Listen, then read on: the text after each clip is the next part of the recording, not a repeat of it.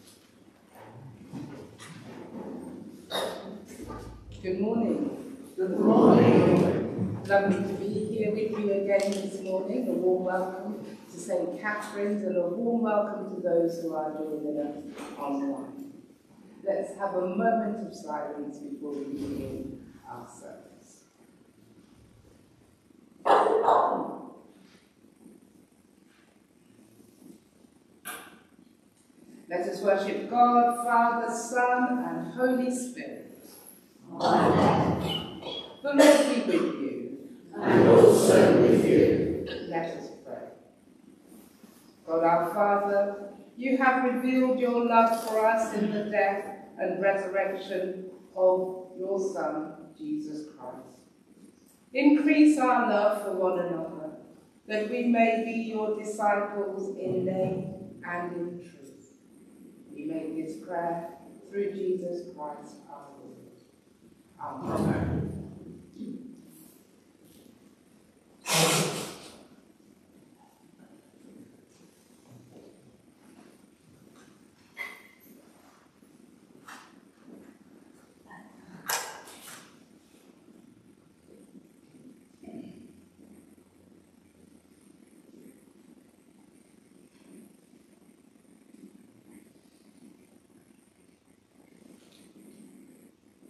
Let us now pray for peace.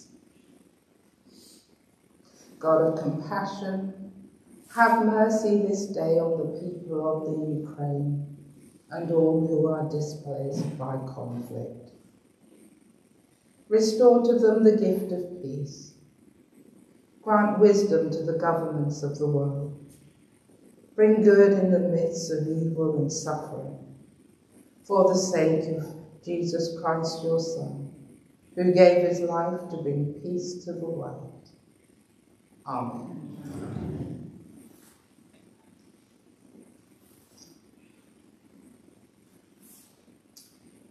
Well, now have our worship.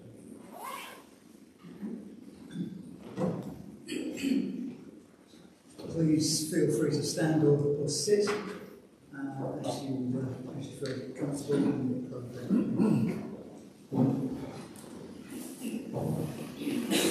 So we have a number of songs, and we'll just uh, let you sit on stand as you feel moved during the course.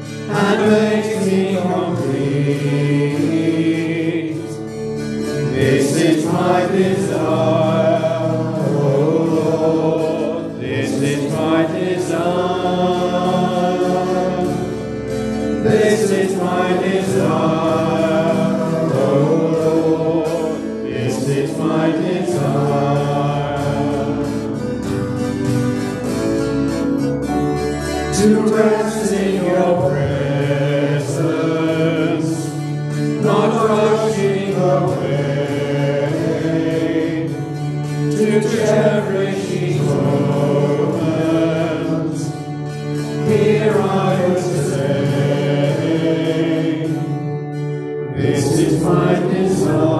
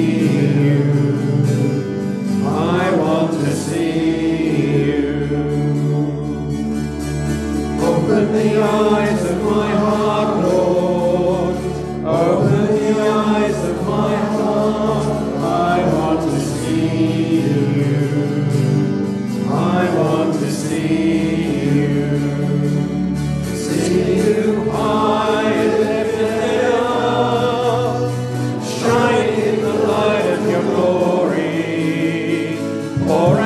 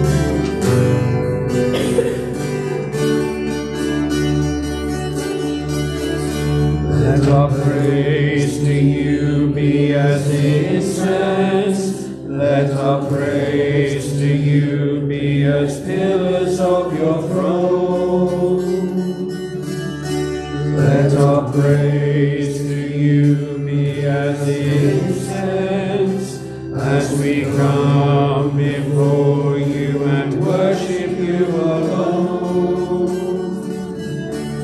As we see you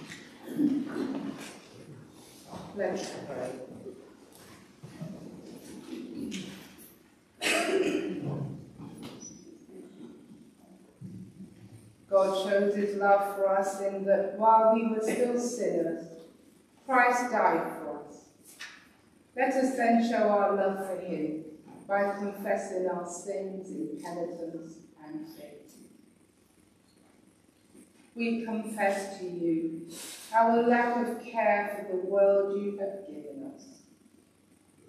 Lord, have mercy. Lord, have mercy. We confess to you our selfishness in not sharing the earth's bounty fairly. Christ, have mercy. Christ, have mercy. We confess to you our failure to protect resources for others. Lord, have mercy. Lord, have mercy. May Almighty God, who sent his Son into the world to save sinners, bring us his pardon and peace, now and forever. Amen.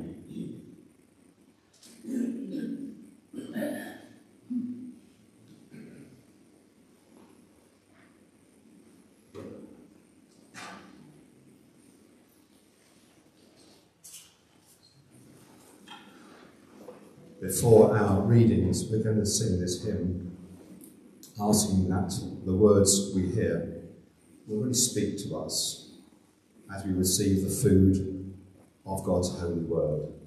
So again, stand if you like.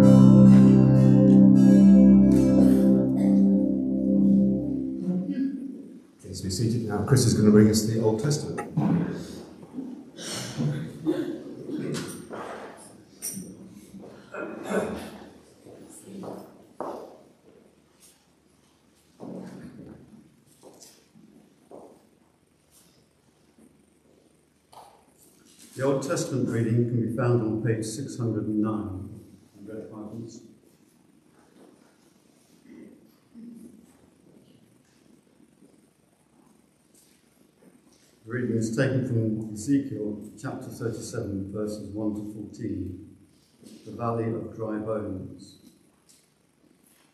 The hand of the Lord was upon me, and he brought me out by the Spirit of the Lord, and set me in the middle of the valley. It was full of bones. He led me to and fro among them. I saw a great many bones on the floor of the valley, bones that were very dry. He asked me, Son of man, can these bones live? I said, O sovereign Lord, you alone know. Then he said to me, Prophesy to those bones and say to them, Dry bones, hear the word of the Lord. This is what the sovereign Lord says to these bones I will make breath enter you, and you will come to life. I will attach tendons to you, and make flesh come upon you, and cover you with skin. I will put breath in you, and it will come to life. Then you will know that I am the Lord. So I prophesied as I was commanded. And as I was prophesying, there was a noise, a rattling sound, and the bones came together, bone to bone. I looked, and tendons and flesh appeared on them, and skin covered them, but there was no breath in them. Then he said to me, Prophesy to the breath. Prophesy, Son of Man, and say to it, This is what the sovereign Lord says Come from the four winds, O breath, and breathe into these slain, that they may live. So I prophesied as he commanded me, and breath entered them, and they came to life and stood up on their feet, a vast army. Then he said to me, Son of man, these bones are the whole house of Israel. They say, Our bones are dried up, and our hope is gone. We are cut off. Therefore, prophesy and say to them, This is what the sovereign Lord says. O my people, I am going to open your graves and bring you up from them. I will bring you back to the land of Israel. Then you, my people, will know that I am the Lord, when I open your graves and bring you up from them. I will put my spirit in you, and you will live, and I will settle you in your own land. Then you will know that I, the Lord, have spoken, and I have done it, declares the Lord. This is the word of the Lord.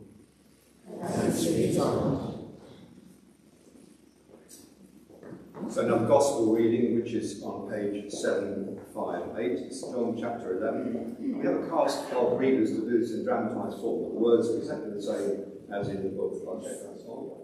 This is smart. That's better. So if we have our readers.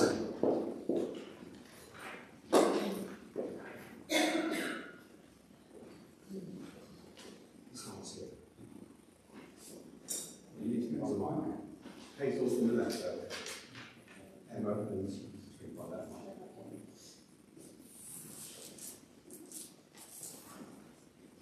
Speak.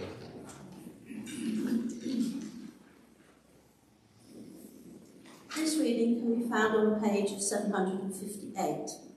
It's John chapter 11, 1 to 45, the death of Lazarus. Now a man named Lazarus was sick. He was from Bethany, the village of Mary and her sister Martha.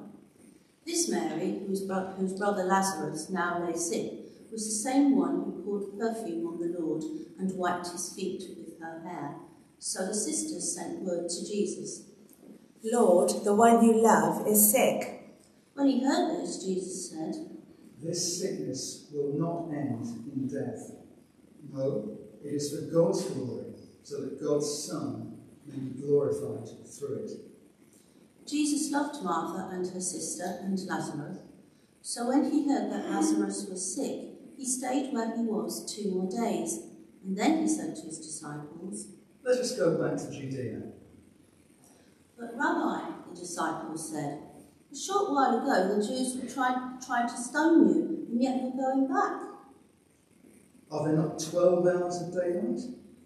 Anyone who walks in the daytime will not stumble, for they see by this world's light. It is when a person walks at night that they stumble, for they have no light. After he had said this, he went on to tell them, Our friend Lazarus has fallen asleep, but I'm going there to wake him up. His disciples replied, Lord, if he sleeps, he will get better. Jesus has been speaking of his death, but his disciples thought he meant natural sleep. So then he told them plainly, Lazarus is dead. And for your sake, I'm glad I was not there, so that you may believe. But let us go to him. Then Thomas, called Didymus, said to the rest of the disciples, Let us also go, that we may die with him. On his arrival, Jesus found that Lazarus had already been in the tomb for four days. Now Bethany was less than two miles from Jerusalem, and many Jews had come to Martha and Mary to comfort them in the loss of their brother. When Martha heard that Jesus was coming, she went out to meet him, but Mary stayed at home. Martha said to Jesus, Lord, if you'd been here, my brother would not have died. But I know that even now God will give you whatever you ask. Your brother will rise again. I know he will rise again in the resurrection at the last day. I am the resurrection and the life. The one who believes in me will live, even though they die. And whoever lives by believing in me will never die. Do you believe this? Yes, Lord, I believe that you are the Messiah, the Son of God, who was to come into the world.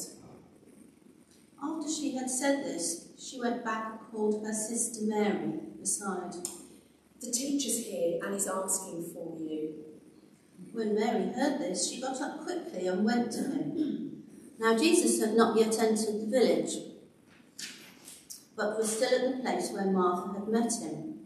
When the Jews who had been with Mary in the house, comforting her, noticed how quickly she got up and went out, they followed her, supposing that she was going to the tomb to mourn there.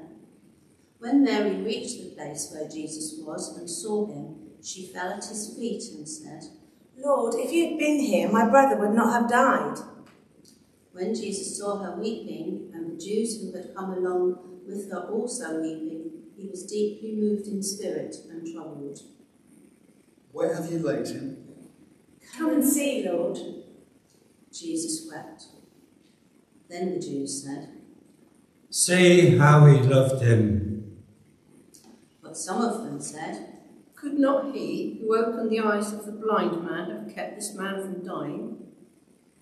Jesus, once more deeply moved, came to the tomb. It was a cave with a stone laid across the entrance. Take away the stone. Oh, but Lord, by this time there's going to be a bad odour because he's been in there for four days. Did I not tell you that if you believe, you will see the glory of God? So they took away the stone. Father, I thank you that you have heard me. I knew that you always hear me, but I said this for the benefit of the people standing here, that they may believe that you sent me. Lazarus, come out. The dead man came out, his hands and feet wrapped with strips of linen and a cloth around his face. Take off the grave clothes and let him go. Therefore, many of the Jews who had come to visit Mary and who had seen what Jesus did put their faith in him. This is the word of the Lord.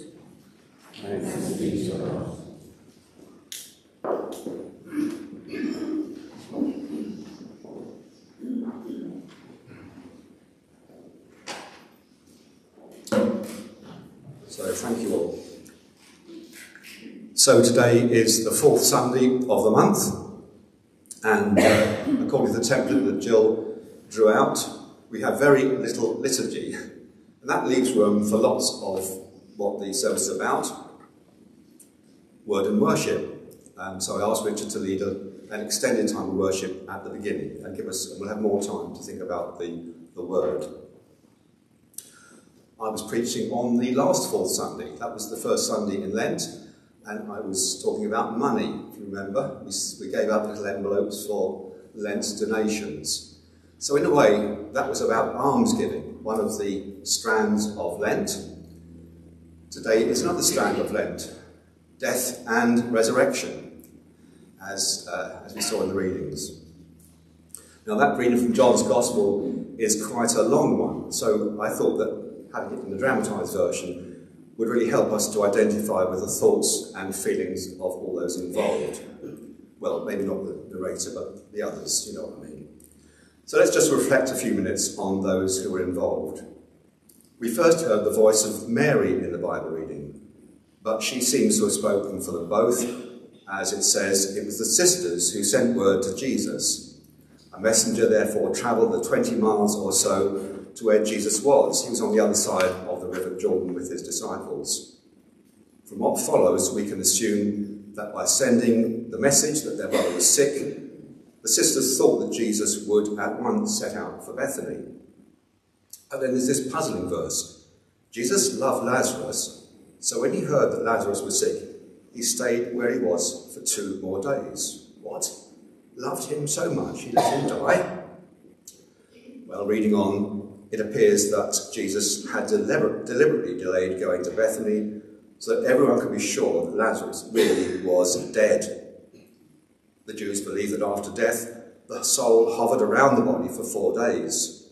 So Jesus waited two days before setting out on the two-day journey to Bethany. Jesus' intention was to show his power over death rather than his power to heal.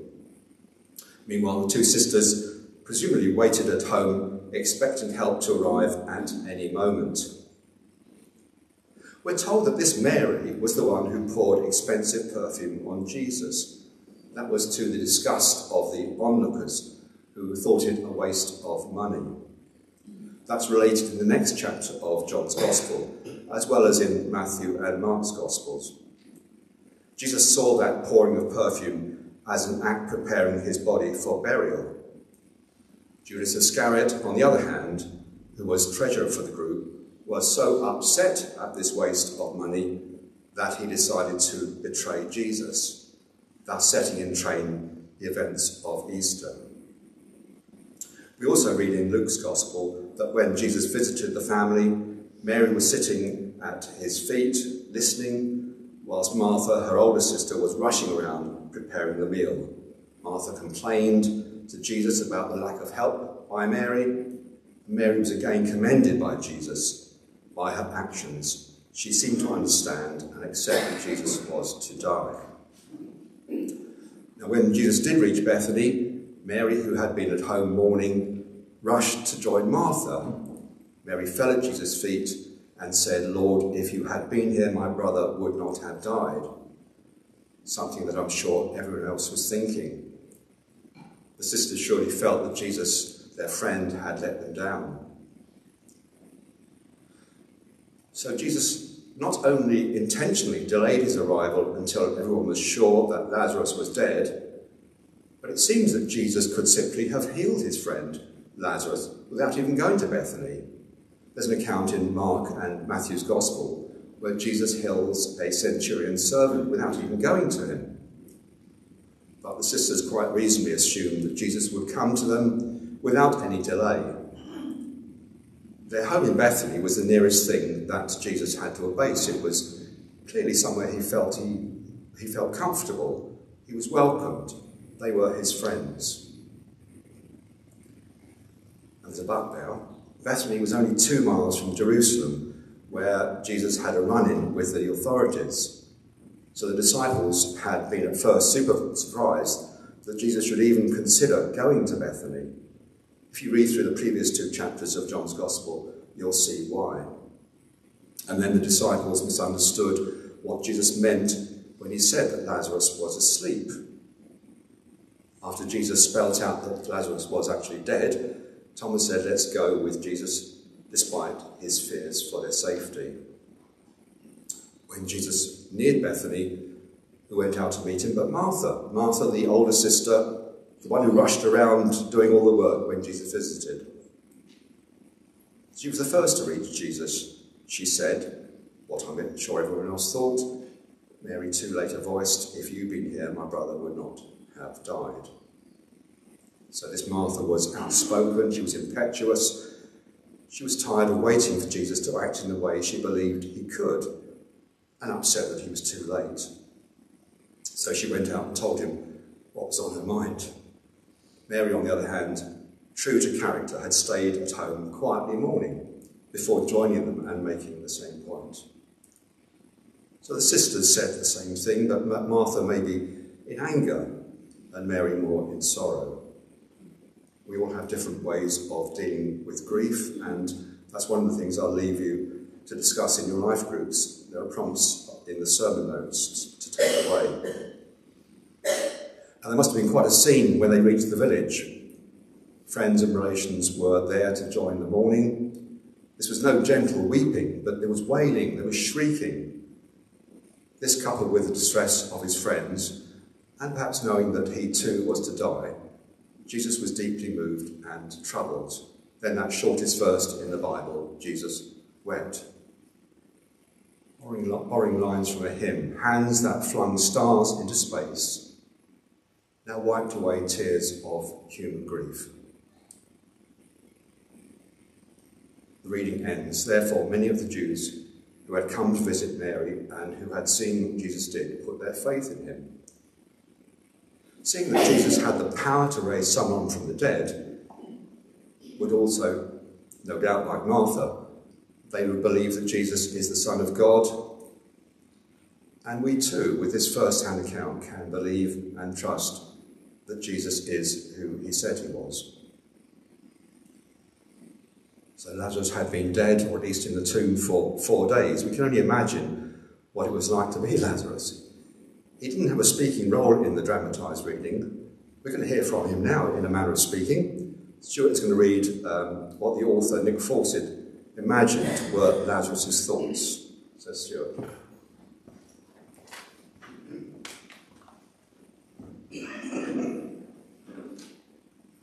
It was so weird, so unreal. At, least that's how it felt. And yet, it happened. I breathed my last, no question about that. After those long days of sickness, the pain growing, the strength failing. After those final Terrible hours, sweat pouring down my face, lungs gasping for air. At last came peace. Darkness closing about me, and suddenly welcome, though it had long been feared. An end to the struggle, the battle nearly over.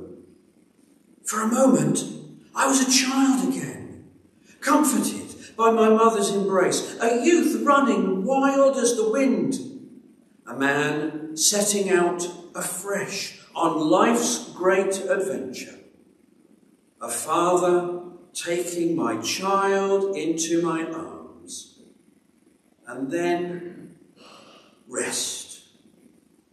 The light went out, the flame extinguished, the game completed.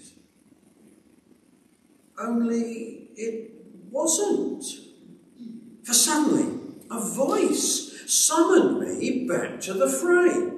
Sunshine burst into the tomb, and consciousness returned. No wonder they gasped. No wonder they swooned. No wonder they wept for joy. For I had been taken from them.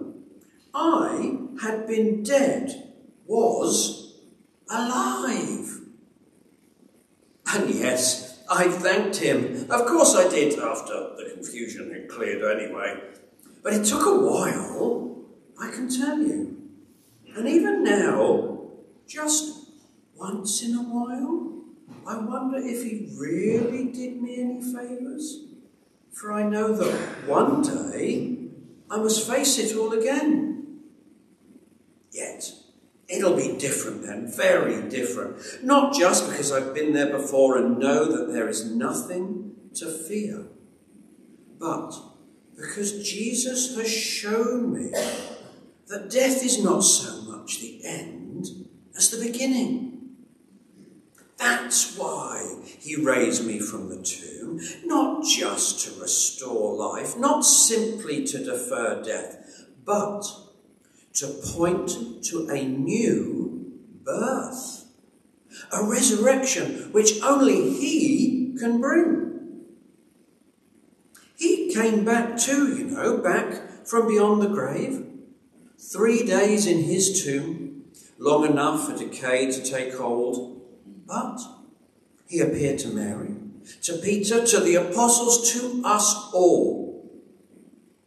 And we know that even though we die, one day we shall live, even as he lives now.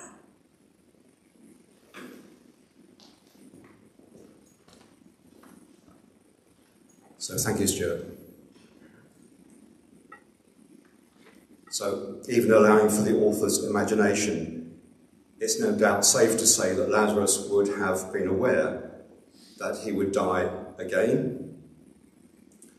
And next time there wouldn't be Jesus around to, as it were, awaken him from sleep. This then would be would need a different kind of resurrection, the kind that Martha believed in when she said, I know he will rise again in the resurrection at the last day. And Jesus responded to that. The one who believes in me will live even though they die, and whoever lives by believing in me will never die. Do you believe this? That new life begins as soon as we believe. New life that affects what we do, what we say, how we act towards others. Paul writes about that new life in another of the readings set for today. You'll find a reference to it on the uh, notice sheet and in the sermon notes. It's Romans chapter 8. In that reading, Paul contrasts two ways of behaving.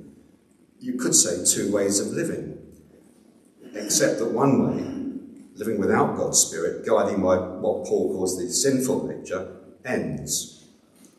But the other way of living, guided by God's Holy Spirit, continues beyond the grave. It does not end. In the reading from Ezekiel, there was that vivid picture of dry bones coming together, then tendons, flesh, and skin clothing. It was not until God's Spirit was breathed in them that they lived. The key is the Holy Spirit living in us, something that marks us out as a Christian and is the guarantee to new life. Not only that, but a life here and now, guiding, helping, and empowering us to live a life worth living. It all begins by responding to Jesus like Martha. Lord, I believe that you are the Messiah, the Son of God who was to come into the world. When asked by Jesus, Who do you say I am? Peter replied, You are the Christ, the Son of the living God. At the end of John's Gospel, he gives the reason for writing that you may believe that Jesus is the Christ, the Son of God, and that by believing you may have life in his name. Later in the service, we'll be saying a creed together, a statement of what it is that Christians believe. But at its heart is that Jesus is the Son of God who came into the world. Reciting creeds are not magic words that guarantee that, that new and eternal life, because faith should lead to action. And James writes, faith without deeds is useless. So perhaps we might pause after we recited the creed later on and reflect on how our deeds reflect the faith that we have just professed. I'm going to end with something we shared in our recent life group.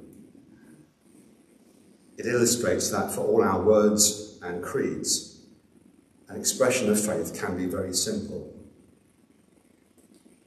It concerns a sermon back in 2019 by Alistair Begg. He began with the image of the crucifixion, the three crosses, Jesus in the middle, flanked by two criminals. According to Luke, one hurled insults at Jesus. The other rebuked him and said, We deserve this, but this man has done nothing wrong. He went on to say, Jesus, remember me when you come into your kingdom. I wonder if you can remember what Jesus said in response to that. He said, I tell you the truth today, you will be with me in paradise.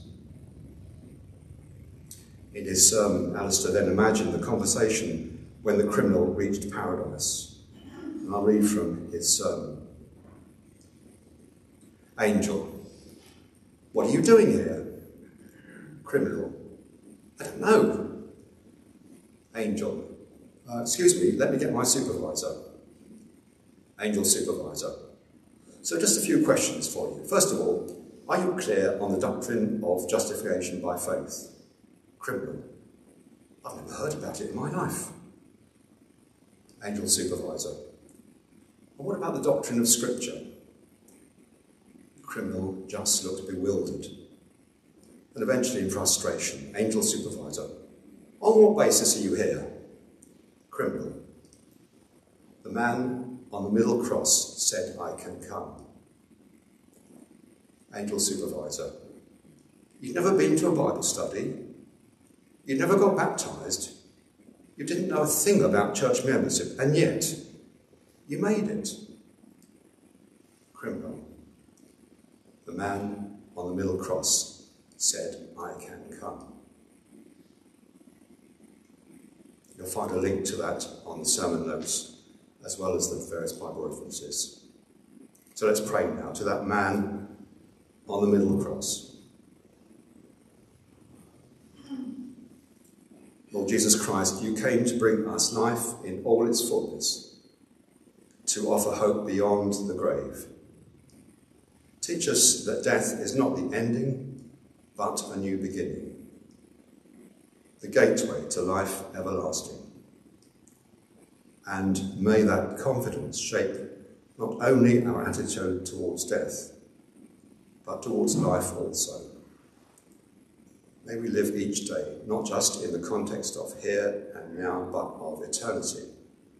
Know there is nothing in heaven or earth that shall ever finally be able to separate us from your love.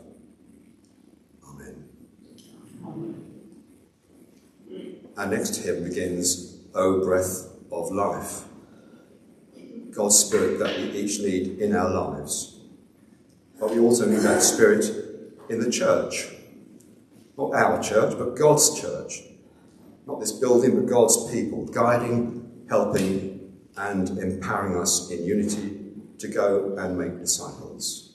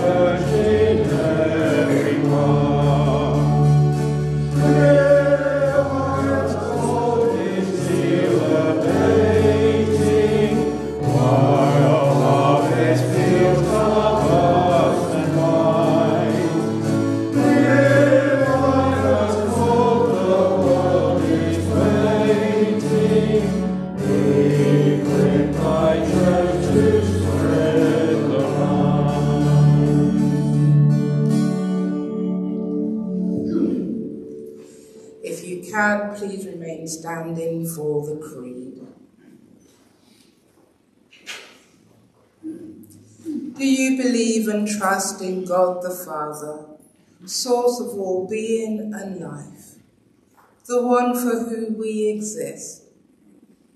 We believe and trust. In you.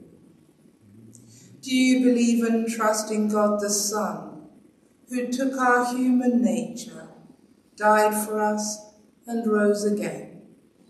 We believe and trust in him. Do you believe and trust in God the Holy Spirit, who gave life to the people of God and makes Christ known to the people of God? We believe and trust in him. This is our faith. This is our faith. We believe and trust in one God, Father, Son, and Holy Spirit. Amen. We will now have a quiet moment before we have our notices. Please be seated.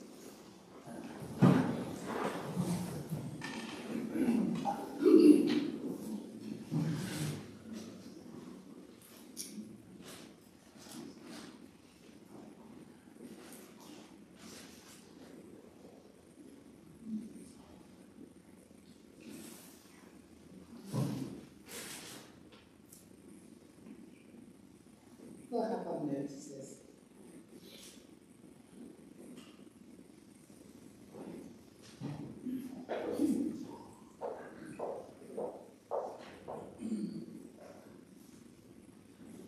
Just a quick reminder that um, we've got Roderick Bowen joining us this afternoon to take us through the feedback from the questionnaires and, and to look at some analysis of that. So um, hopefully a lot of you can join us at 2.30 this afternoon. Rodri's just made a slight change to the timescale. He thinks it'll go on until 4.15, so 2.30 to 4.15, and then at 4.15 we hope to have tea. Um, and as I've said before, hopefully you can bring some cakes along. So appreciate that some of you have got other things um, that you've got organised, but it'd be lovely to see as many of you as can make it this afternoon at 2.30.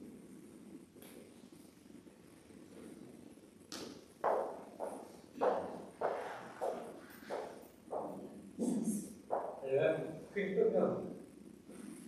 Yeah, I'd just like to say thank you very much to everybody who responded to ReadiFood appeal.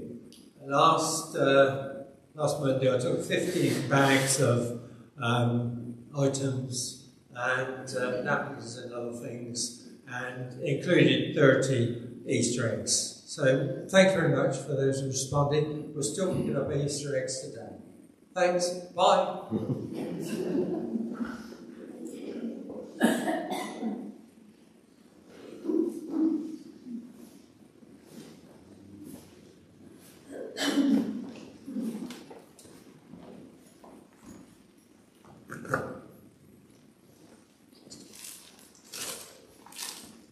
I have here my completed master's thesis that I submitted this week.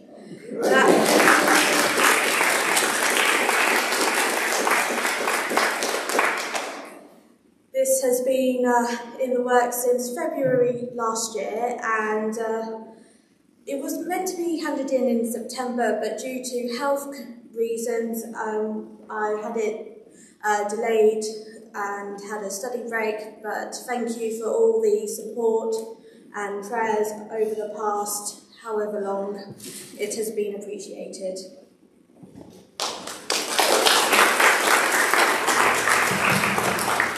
And it was Paddy's birthday on Thursday, St Patrick's Day, is it? Right. It's birthdays are happy days. Birthdays are happy days for loving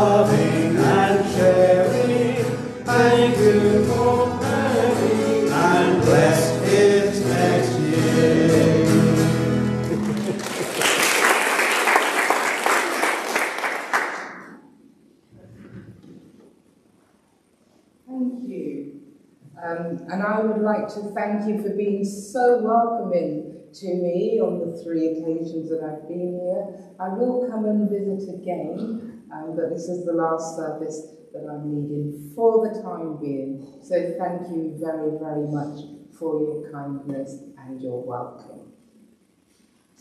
Let us now prepare for our intercessions. Reach out and touch the Lord as He passes by. You'll find He's not too busy to hear your heart's cry. He is passing by this moment your needs to supply. Reach out and touch the Lord as He passes by. Let us pray.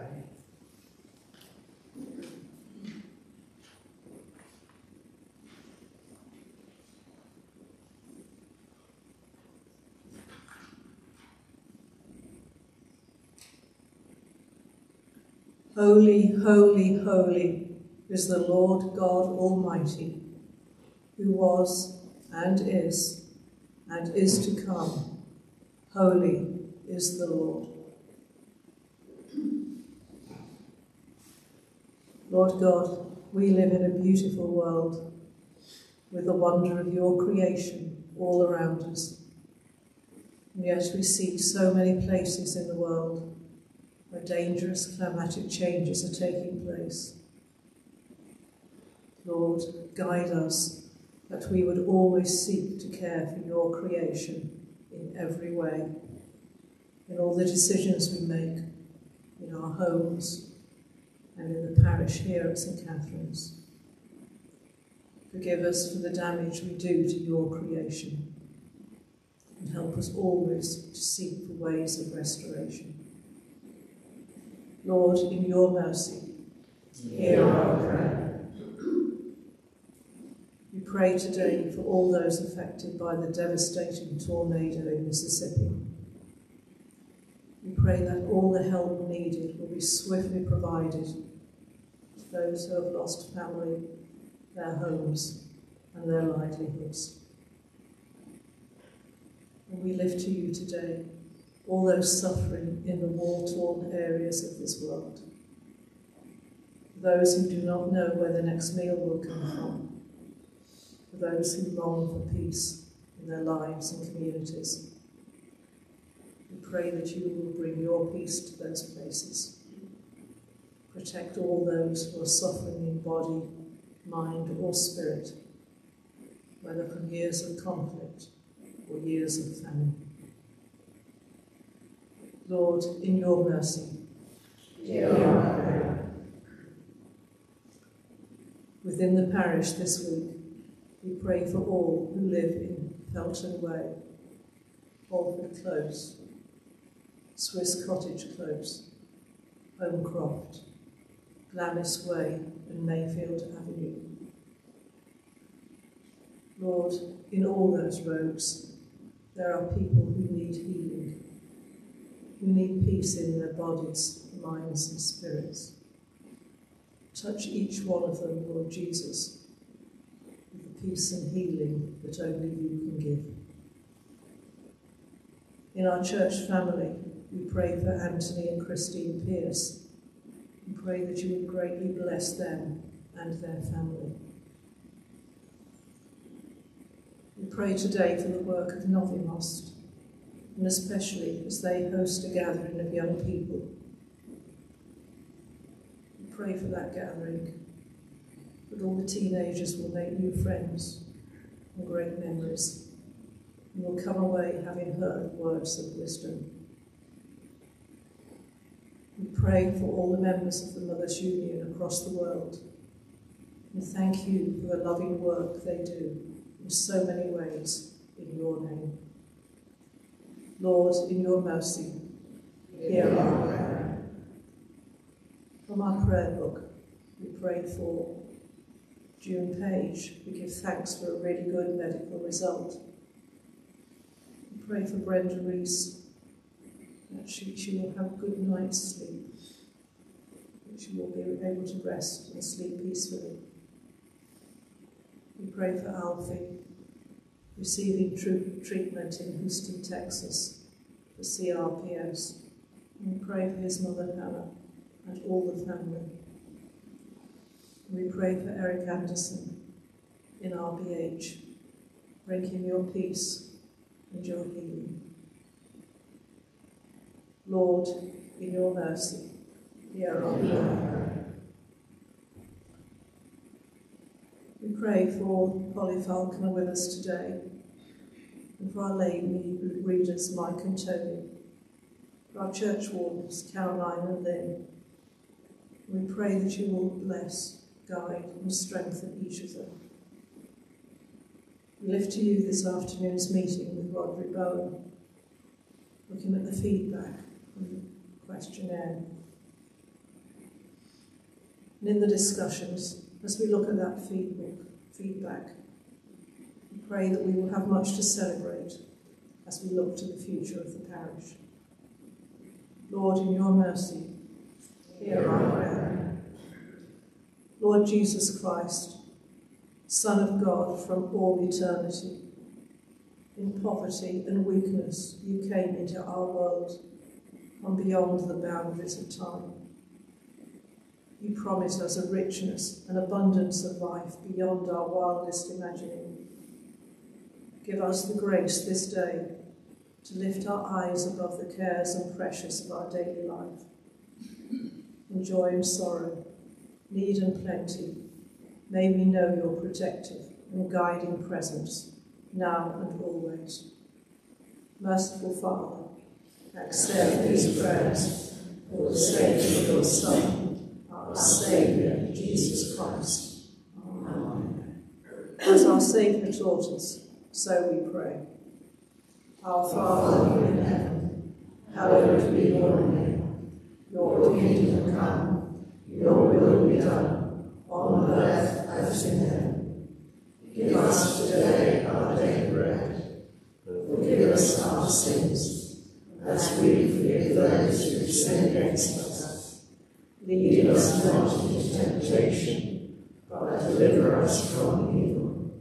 For the kingdom and the glory now and forever.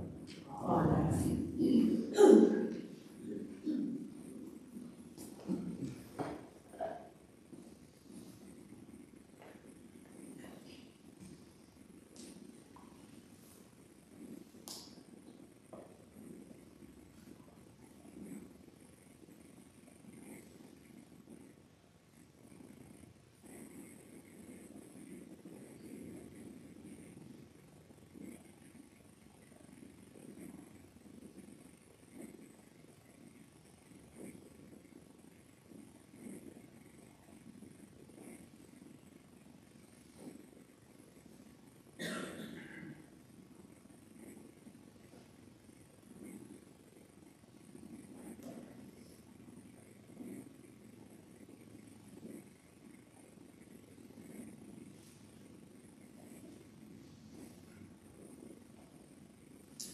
So now our, our final hymn.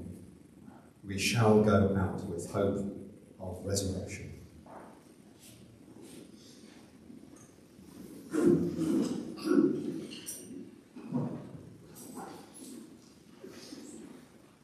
So stand if you're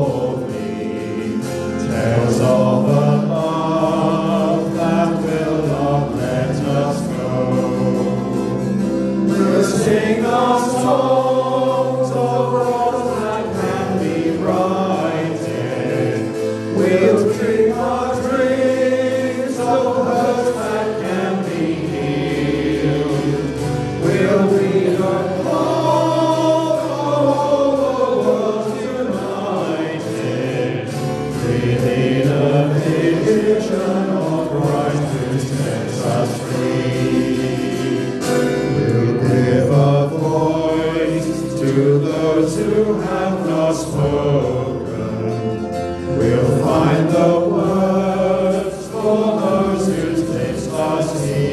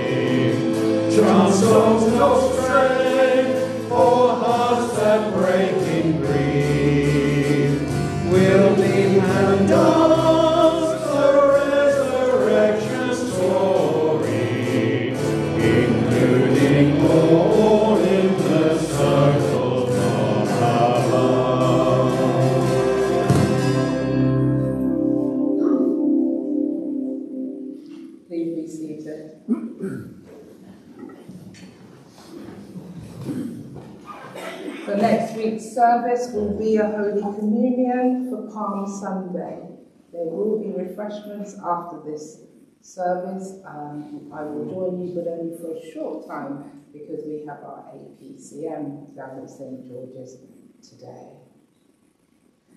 I think the last time I was here, I left you with a thought for the week that we are too blessed to be stressed. But given our sermon today and the thoughts of today, I'd like to leave you with another thought. Grief is love with nowhere to go. Grief is love with nowhere to go. It fills your heart that love for your loved ones, and when they are no longer there to receive it, it burns within you. And that's why we cry to cool that burning inside us. So remember, grief is love with nowhere Amen. All our problems we send to the cross of Christ. All our difficulties we send to the cross of Christ. All the devil's works we send to the cross of Christ. All our hopes we set on the risen Christ. Let us bless the Lord. Thanks be to God. There will be communion in a short while. In the meantime, this, the worship group will do one of my favourites actually, Waymaker.